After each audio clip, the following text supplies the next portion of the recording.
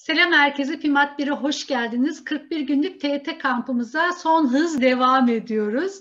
Fonksiyonlara başlamıştık. Fonksiyonlarla devam ediyoruz. Bugün 29. günümüz. Ne var bugünkü menüde? Bugün bileşke ve ters fonksiyon işleyeceğiz. Çok heyecanlıyım. Hadi başlayalım bakalım.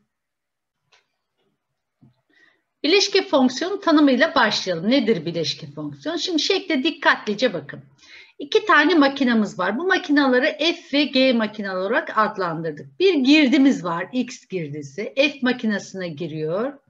O X girdisinin çıktısı Y. E, F makinesindeki çıktı olan Y, G makinesinin girdisi olarak G makinesine giriyor.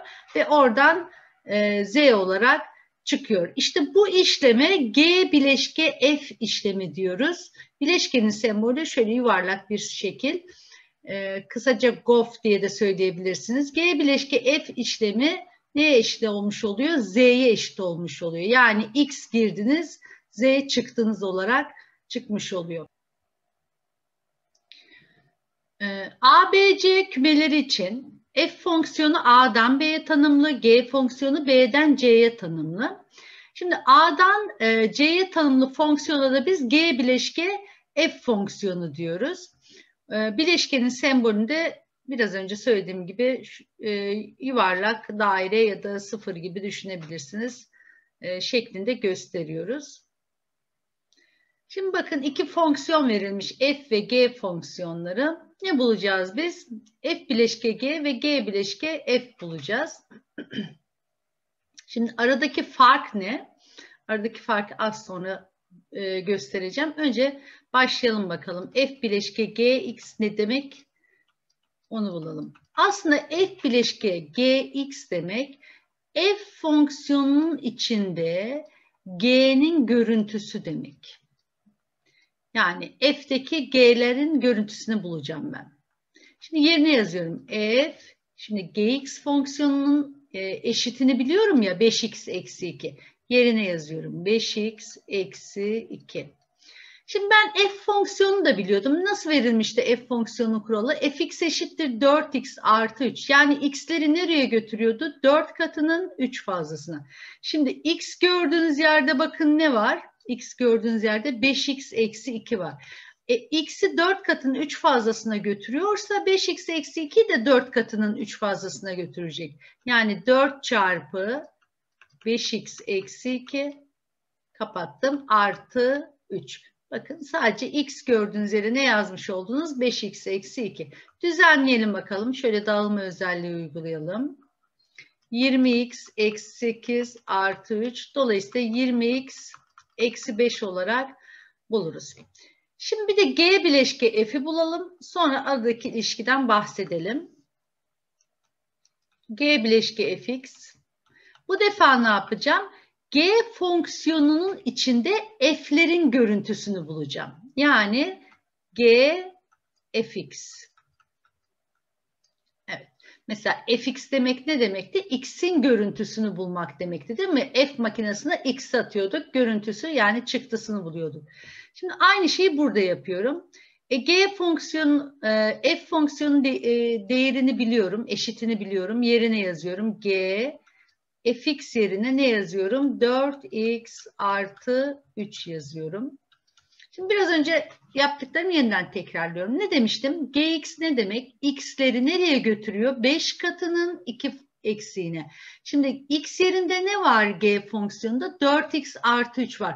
Onu da 5 katının 2 eksiğine götürecek. Yani 5 çarpı 4x artı 3 eksi 2. Gene dağıtarak düzenleyelim. 20x artı 15 eksi 2 yani 20x artı 13. Şimdi dikkatlice bakarsanız sonuçlara her iki sonuçta farklı çıktı. Bakın f bileşke g'nin e, sonucu 20x eksi 5. G bileşke f'in sonucu 20x artı 13. Çünkü bileşke işleminin değişme özelliği yoktur. Yani F bileşke G, G bileşke F'e eşit olmaz. Eşit olduğu durum tabii ki olur. Özel durumlar. Bileşke işlemi de aynı toplama, çıkarma, çarpma, bölme gibi bir işlemdir. Bileşke işlemin değişme özelliği yoktur.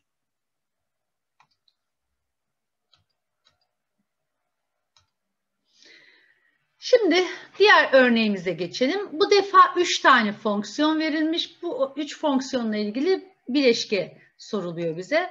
Başlayalım bakalım. Önce birinci kısma bakalım. Yani f bileşke g bileşke h.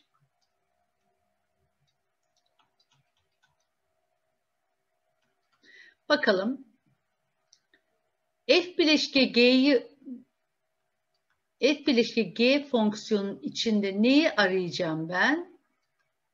H fonksiyonunu arayacağım. Yani F bileşke G'nin içinde H fonksiyonunun görüntüsünü arayacağım. Yerine yazıyorum. F bileşke G Hx'in değeri neydi? 3x artı 1. Tamam. Şimdi f bileşki g'yi bulursam ben e, sonra f bileşki g 3x artı 1'de bulmuş olurum. Altı hemen f bileşki g'yi buluyorum. f bileşki g ne demekti? F'in içinde g'nin görüntüsü demekti. f gx yerine görüntüsünü yazıyorum. 2x. Şimdi fx e, nasıl bir fonksiyon? x'leri nereye götürüyor? x'in iki fazlasına. O zaman f 2x nereye gidecek? 2x'in iki fazlasına gidecek. Dolayısıyla f bileşke g'yi bulduk. Şimdi yerine yazacağım. F bileşke g ne, neye eşit? 2x artı 2'ye eşit. f bileşke g'nin içinde 3x artı 2'nin görüntüsü pardon 3x artı 1'in görüntüsünü arıyorum. O zaman 2 çarpı x yerine ne yazacağım? Görüntüsünü aradım. 3x artı 1 yazıyorum. Kapattım. Artı 2. Şimdi bir dağıtıp düzenleyelim. 6x artı 2 artı 2 yani 6x artı 4 olarak buluruz. Şimdi diğer işlemi yapalım.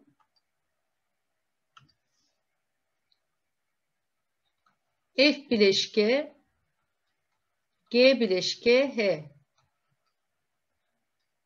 X eşittir. Şimdi önce şu bileşkeyi bulayım. Yani G bileşke H'yi bulalım.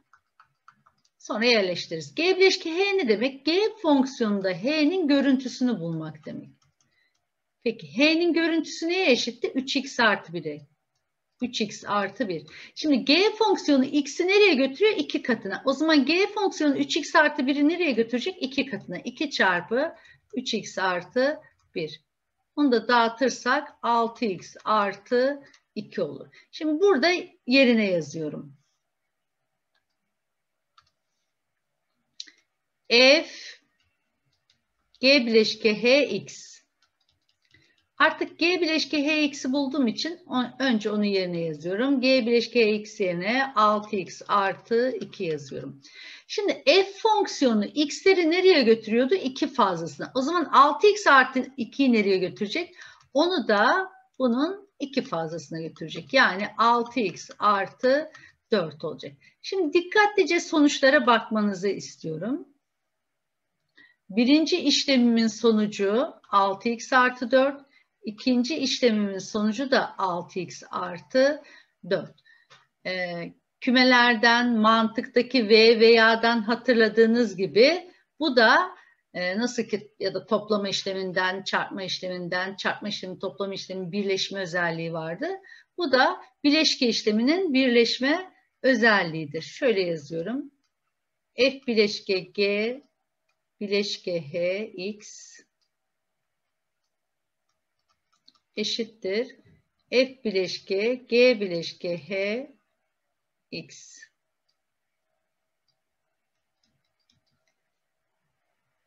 Şuraya da sözel olarak ifade edelim. Bileşke işleminin birleşme özelliği vardır.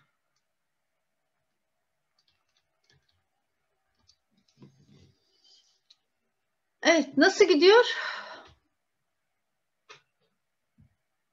Şimdi bildiğiniz, gördüğünüz işlemlerden farklı olduğu için değişik gelebilir.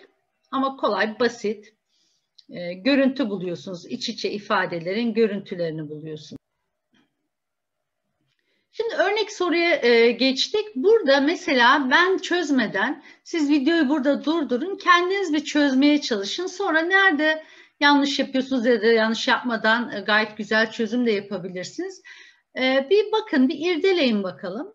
Şimdi ben sorunun çözümüne geçiyorum. E, ne istemiş bizden? F bileşke G 4 istemiş. F bileşke G 4. Yani ne demek F bileşke G 4? F fonksiyonun içinde G fonksiyonu 4 için görüntüsünü arıyoruz. Şimdi öncelikle bize ne lazım? G4 lazım. G4'ü bulacağım. G fonksiyonu nerede? Şurada bakın. G fonksiyonunda x gördüğüm yere ne yazacağım? 4 yazacağım. Yazıyorum 6 eksi 3 çarpı 4. Bakın G fonksiyonunda x gördüğüm yere 4 yazdım. 6 eksi 12 yani eksi 6. Şimdi buradan devam ediyorum. G4 gördüğüm yere ne yazacağım artık? G4'ün eşit olan eksi 6'yı yazacağım. F eksi 6. Şimdi f eksi 6 ne demek? F fonksiyonunda x'ler nereye gitmiş? x karenin x kare eksi 4x'e gitmiş. x gördüğünüz yerde ne var f fonksiyonunda? Eksi 6 var. O zaman eksi 6'nın karesi eksi 4 çarpı eksi 6 diyorum. Eksi 6'nın karesi 36. Eksi ile eksiyi çarptık. Artı 24 topladık. 60 olarak bulduk. Yani cevabımız 60 olacak. Siz de buldunuz mu doğru cevabı? Eminim bulmuşsunuzdur. Devam edelim. Şimdi bu defa bir parçalı fonksiyon verilmiş. Parçalı fonksiyonda bir bileşke işlemi isteniyor. E, mantık aynı çocuklar. Değişen bir şey yok. Önce f bileşke g4'ü bulalım. f bileşke g4. Yani ne demek f bileşke g4? f fonksiyonunda g fonksiyonu 4 için görüntüsünü arayacağız arayalım. Önce bize ne lazım tabii ki? G4 lazım. G fonksiyonuna bakıyorum. G fonksiyonu bir parçalı fonksiyon. X gördüğünüz yerde ne var? 4 var. X eşittir 4 ise nereye uyar çocuklar? Bakın X kareye. X 3'ten büyük olduğu durum. Yani 4'ün karesi. Yani 16. Şimdi yerini yazıyorum. F 16. Yani G4 yerine artık görüntüsü olan 16'yı yazıyorum.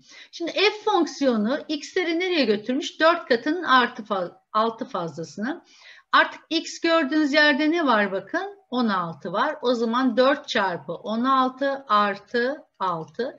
4 ile 16'yı çarptık. 64 artı 6'dan 70'i buldum. Şimdi ikinci kısmı yapalım. Yani g bileşki f eksi 2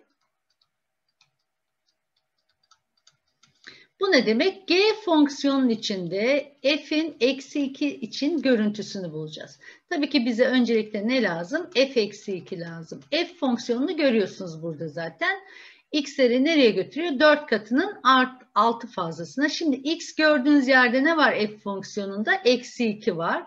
x gördüğüm yere eksi 2 yazıyorum. 4 çarpı eksi 2 artı 6 Eksi 8 artı 6 eksi 2. Şimdi f eksi 2'nin görüntüsü neymiş? Eksi 2'miş. Onu yerine yazıyorum. G eksi 2 eşittir. Şimdi g fonksiyonunda eksi 2'nin görüntüsünü bulacağım. Yani g fonksiyonunda x gördüğüm yerde ne var bakın? Eksi 2 var. Şimdi parçalı bir fonksiyon olduğu için eksi 2 hangi kısma denk geliyor? 3'ten küçük kısma yani x artı 5'e denk geliyor. x gördüğüm yere de eksi 2 yazıyorum. Eksi 2 artı 5 eşittir 3 olarak buluyorum. Yani f bileşke g4'ü ne bulduk? 70 bulduk. Ee, g bileşke f eksi 2'yi de 3 bulmuş olduk.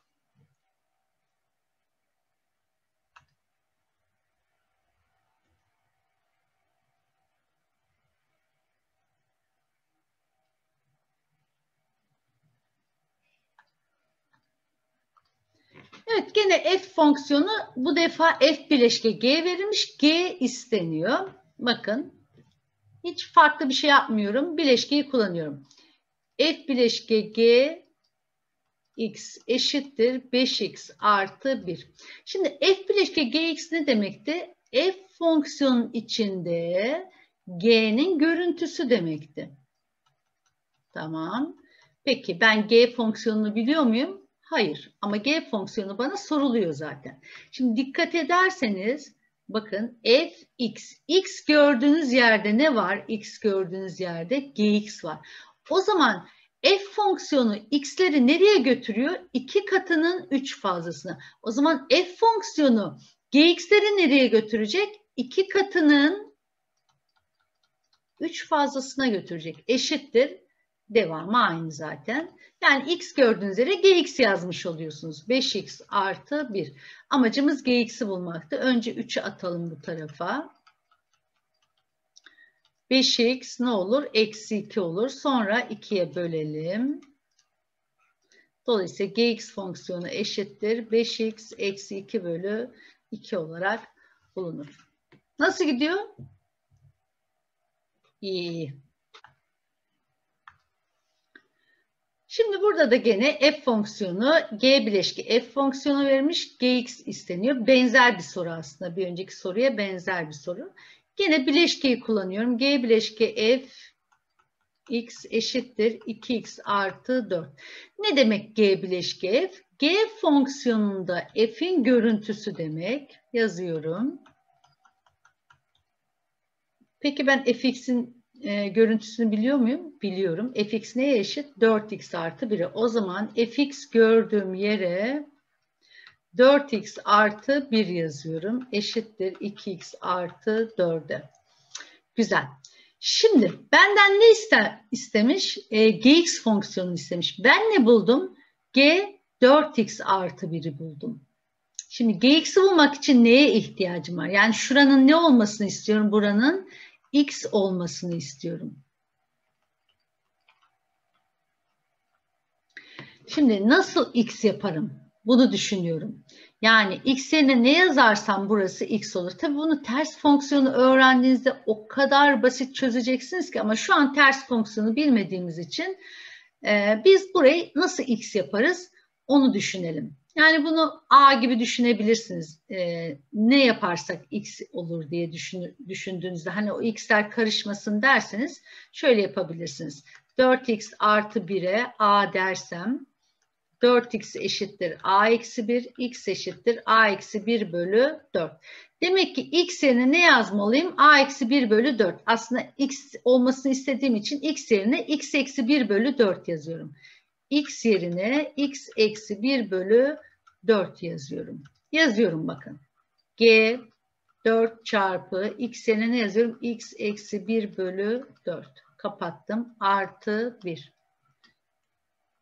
eşittir 2 çarpı x eksi 1 bölü 4 kapattım artı 4.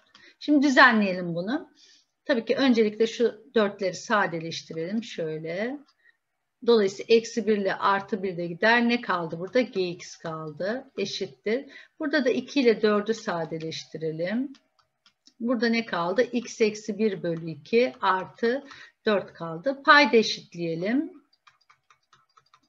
x eksi 1 artı 8 bölü 2 oldu. Onu da düzenlersek x artı 7 bölü 2 olur gx fonksiyonumuz. Tabi ters fonksiyon konusunu gördüğümüzde bu kadar uzatmadan daha basit e, çözebileceğiz. Şimdilik böyle yapmamız daha uygun olur.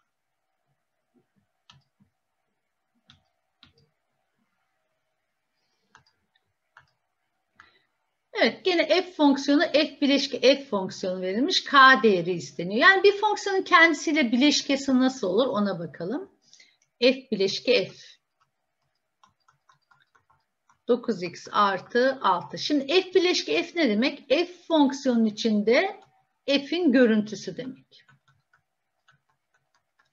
Peki fx'in görüntüsünü biliyorum ben. 3x eksi k. Yerine yazıyorum f Bakın bunun yerine 3x eksi k yazıyorum. Eşittir 9x artı 6.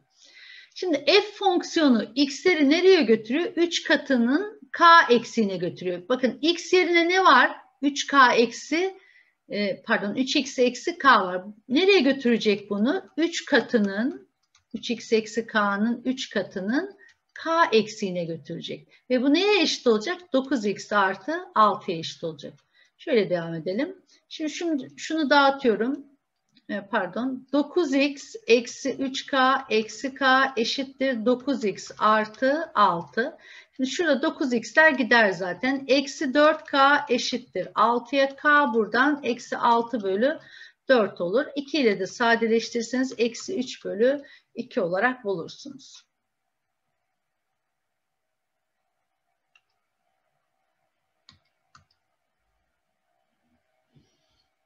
Evet, güzel bir soru. Birim fonksiyonu da e, kapsayan bir soru.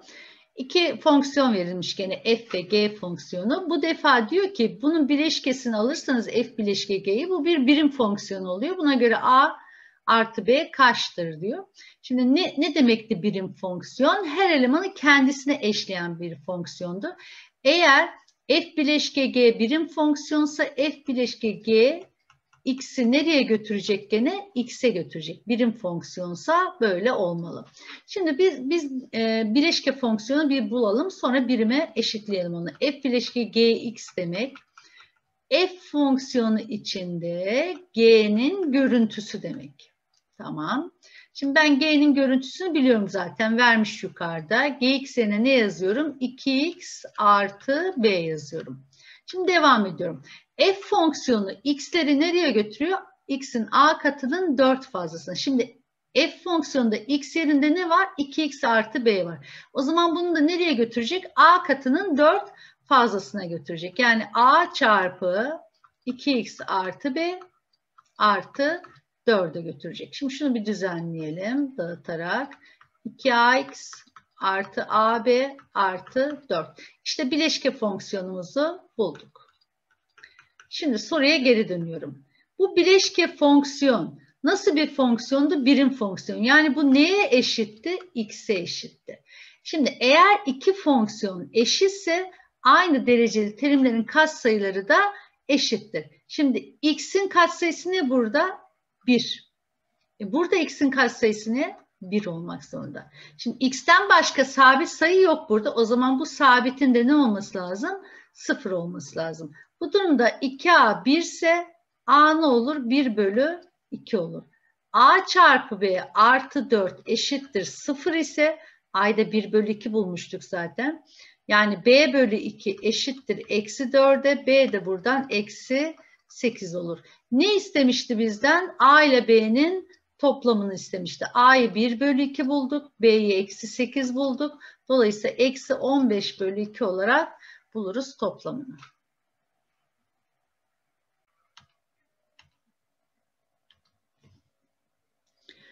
Evet bu örneğimizde de G bileşke F1 soruluyor. Gene ben buradan başlıyorum. G bileşke F1 demek ne demek? G bileşke F1 demek G fonksiyonunda F1'in görüntüsünü bulmak demek. Şimdi bu durumda F1'i bulayım ben. Hemen şuradan F1'i bulayım. Bana F1 lazım. Yani şuranın ne olmasını istiyorum ben? 1 olmasını istiyorum. Yani x eksi 3'ün 1 olması için x ne yazmalıyım? 4. Yazıyorum. Neye eşit e, fx eksi 3? 4x artı 1'e x gördüğüm yere 4 yazıyorum. 4 çarpı 4 artı 2. 16, 18. Şimdi burada yerine yazıyorum. G artık F1 yerine 18 yazdım. Şimdi G 18'i bulacağım. G fonksiyonu G 4x eksi 2 eşittir. x kare artı 4 şeklinde verilmiş. Şimdi benim bulmak istediğim G 18. Yani buranın 18 olmasını istiyorum. Yani 4x eksi 2 18 olursa 4x 20 olur. x de 5 olur. Demek ki buranın 18 olması için x yerine ne yazmalıyım? 5 yazmalıyım. O zaman g 18 eşittir. x gördüğüm yere 5 yazıyorum bakın. 5'in karesi artı 4. Yani 25 artı 4'ten 29 olarak buluruz.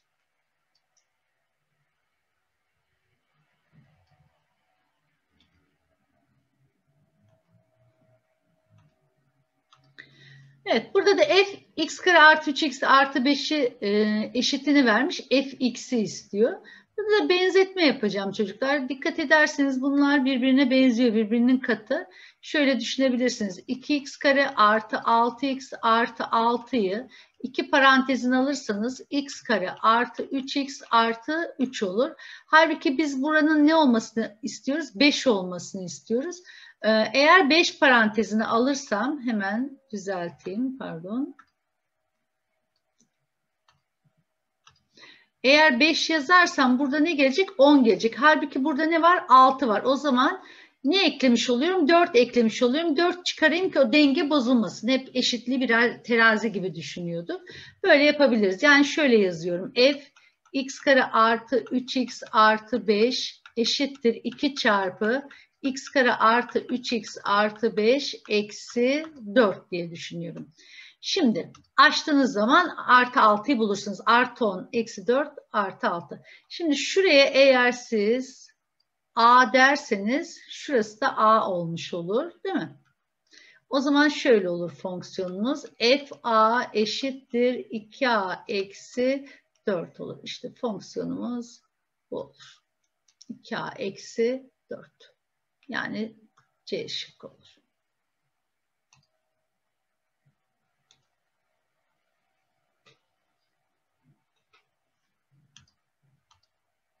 Evet, burada da iç içe bileşke vermiş. Sırayla en içten yani en sağdan sola doğru yapıyorsunuz.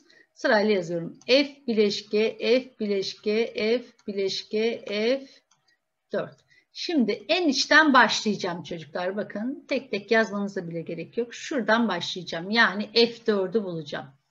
Hemen onları da yana bulayım. Ee, pardon.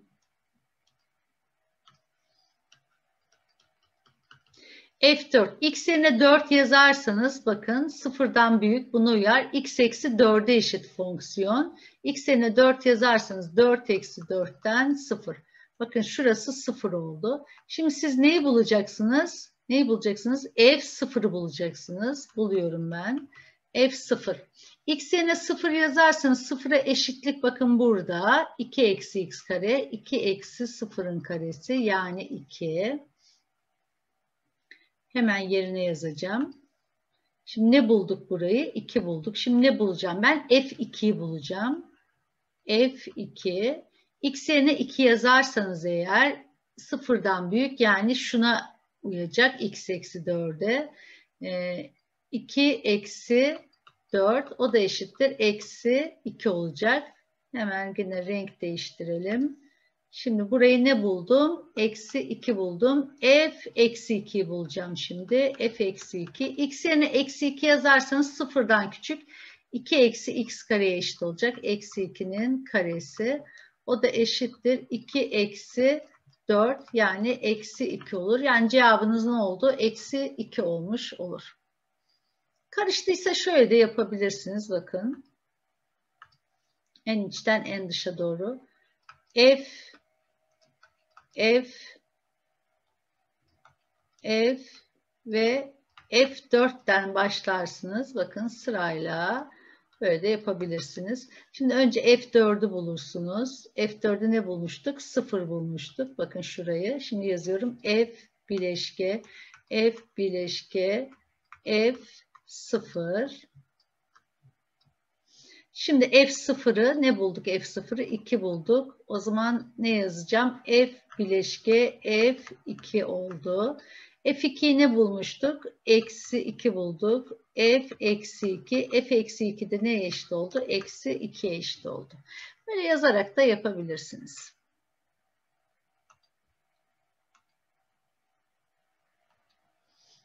Yine bir parçalı fonksiyon. Onunla ilgili bir bileşke işlemi verilmiş en içten en dışa doğru yapacaksınız. E, ipucu bu yani.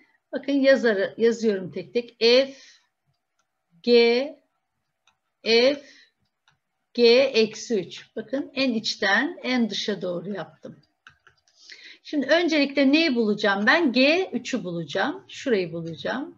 Hemen burada buluyorum. G eksi 3 pardon.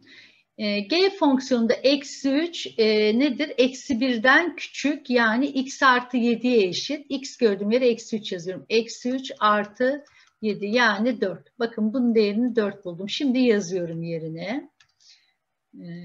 E, f, G, F, 4. Şimdi gene neyi bulacağım? F4'ü bulacağım. Hemen burada buluyorum. F4 eşittir. F fonksiyonunda 4 2'den büyük. X artı 2'ye eşit. X yerine de 4 yazıyorum. 4 artı 2'den 6. Bunun değerini 6 buldum. Şimdi yazıyorum yine yerine.